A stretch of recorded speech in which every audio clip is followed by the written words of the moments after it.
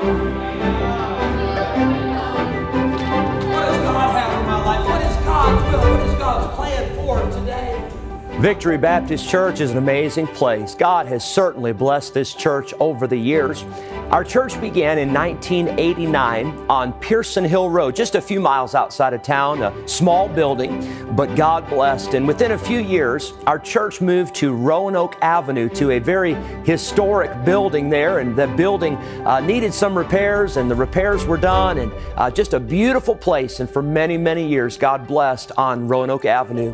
Then in 2010, God led Victory Baptist Church to this present spot when Victory merged with Lakeview Park Baptist Church. It's an amazing story, the, the miracles and all that God did at that time.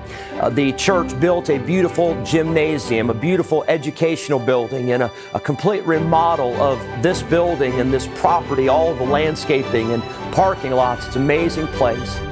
God has blessed our church, and God used Pastor Madden.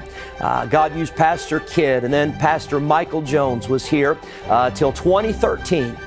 In 2014, my family and I came to Victory Baptist Church, and we have fallen in love with this church and this area and the people here at Victory Baptist Church.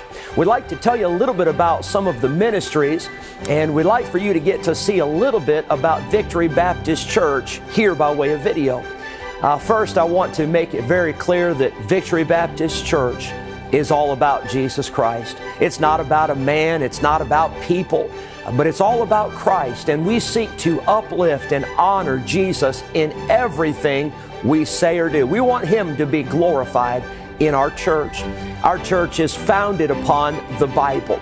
Uh, all of the preaching and all of the teaching and everything that we do, it comes from the Word of God. Uh, our opinions don't really matter. As a matter of fact, our opinions can change, and uh, sometimes what we say one day might not be the same the next, but I'm glad that the Bible never changes. And we unashamedly, we stand upon the authority of the Word of God. We love music that glorifies and honors God. We have an adult choir, children's choir, special groups, instrumentalists, congregational singing. We love to sing.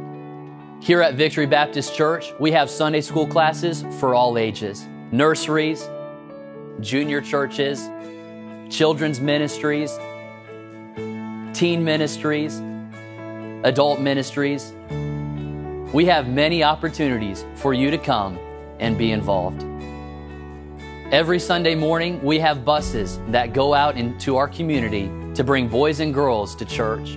It's a blessing to see those boys and girls come to know Jesus Christ as their Savior and to have an opportunity to be taught lessons from the Bible.